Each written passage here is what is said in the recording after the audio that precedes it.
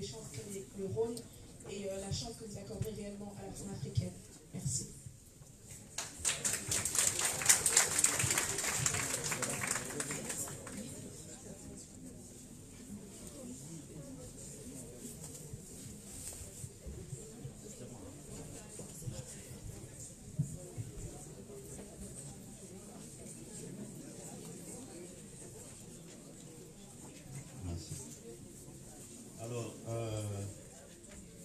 C'est madame qui nous a posé la question de savoir euh, euh, quel est l'enjeu de l'unité africaine, n'est-ce pas? Donc, euh, pour moi en tant que candidat.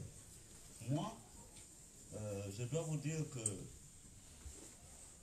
je ne crois pas que chaque pays africain peut réussir tout seul.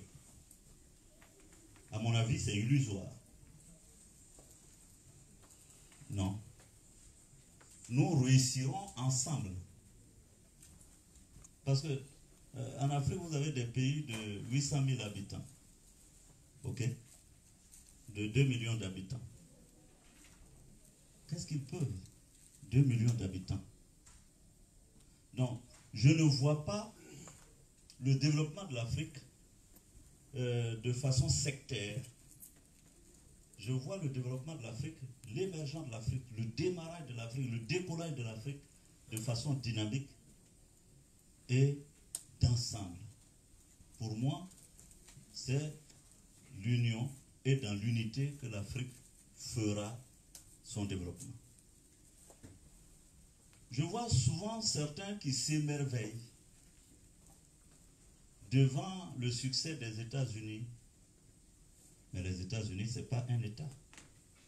C'est plusieurs États, comme vous le savez. C'est environ entre 300 et 400 millions d'habitants. C'est pourquoi l'Union européenne aussi a vocation à relever ce défi. Et c'est pourquoi je pense aussi qu'en Afrique, la Côte d'Ivoire ne peut pas dire nous, Côte d'Ivoire, on va se développer tout seul. Ça je ne crois pas à ça. Je pense que le développement doit se faire euh, de façon euh, harmonisée. Et en ce qui me concerne, moi, pour répondre particulièrement, puisque la question m'est posée, moi j'ai toujours été dans cette dynamique. Déjà, étudiant, j'ai pris l'initiative de la création de la Fédération des élèves et étudiants de l'Afrique de l'Ouest. Déjà, ça c'est mon héritage. Ensuite, quand je suis arrivé ici euh, en France, j'ai participé à la mise en place du Forum international des étudiants francophones. Donc j'ai toujours vu, pas de façon, euh, ces frontières africaines-là. Et moi j'ai toujours été frappé, si on avait une carte de l'Afrique ici, j'allais vous montrer, vous voyez les frontières, on, on dirait que ça a été dessiné à la règle. Or, dans la vie, vous savez que ce n'est pas comme ça les choses se font. Donc, je suis d'accord avec vous que la notion de l'unité africaine, le rêve de Kwame Nkrumah et euh, de d'autres leaders euh, est juste. De penser que nous devons envisager euh, notre développement, l'émancipation de ce continent-là de façon dynamique et ensemble. Alors, Madame Ngoran, c'est ça, hein? M'a posé la question relativement à la réconciliation en Côte d'Ivoire. À l'entame de mon propos, dans l'exhorte, je dis que ce serait une priorité pour moi. Parce que rien n'est possible sans la nécessaire paix dans un pays. On ne développe pas un pays sous les coups de canon. Il faut d'abord la paix.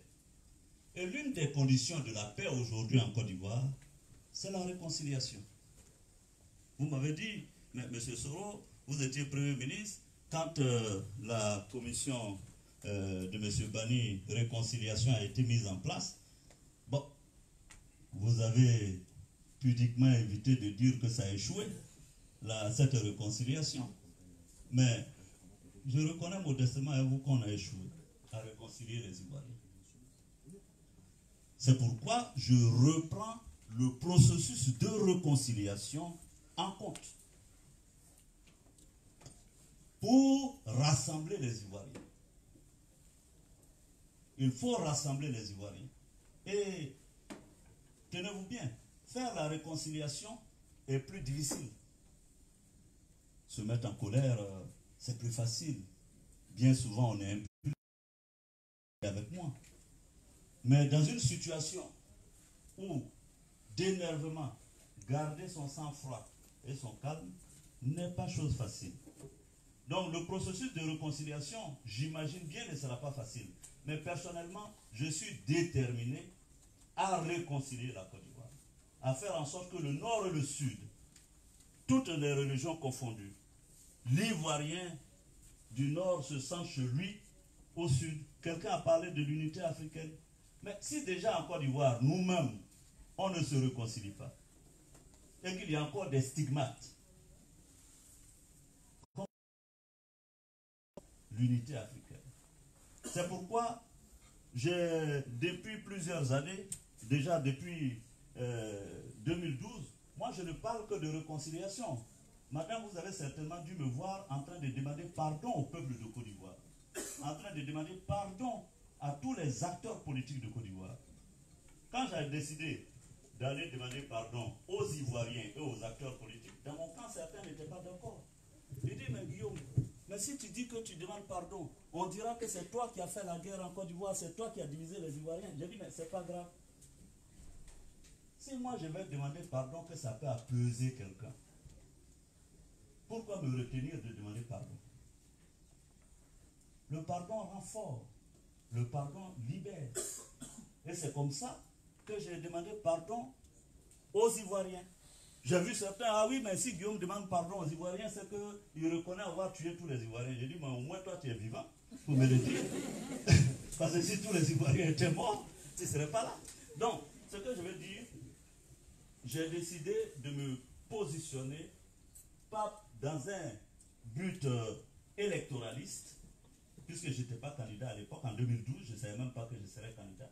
Mais je vais, je sillonne toute la Côte d'Ivoire et je dis aux Ivoiriens, ne vous trompez pas, vous ne réussirez rien tant que le nord, le sud, l'est, l'ouest, nous ne nous mettrons pas ensemble pour faire un même peuple. C'est pourquoi j'ai créé Générations et Peuples solidaires. Qu'est-ce que ça veut dire? En Côte d'Ivoire, il y a plusieurs peuples. On est plus de 60 ethnies. C'est à nous de créer la nation ivoirienne. Que le BT, le Baoulé, le Senfo, tout le monde, on se mette, que nous nous mettions ensemble pour créer le seul et unique peuple de Côte d'Ivoire. Nous pouvons le réussir. Les Français l'ont réussi ici, là où vous vivez là. Ce n'était pas un seul peuple. Hein. Ici en France, ils ne parlaient même pas la même langue. La France, la France n'était pas un seul peuple. Vous entendez encore parler des Corses, n'est-ce pas? Il y avait plusieurs peuples ici pour faire le peuple français. C'est vrai aussi aux États-Unis. Mais aux États-Unis, c'était encore plus grave. Parce qu'aux États-Unis, quand vous allez aux États-Unis, et ce qui m'a frappé quand j'arrive à New York, le policier noir que je vois à la frontière à New York, il dit I'm an American. C'est clair. I'm American. Les États-Unis. Mais les États-Unis, ce n'était pas un seul peuple. C'était différents peuples venus de différents continents. D'autres sont venus d'Afrique, d'autres sont venus d'Europe, d'autres sont venus de partout.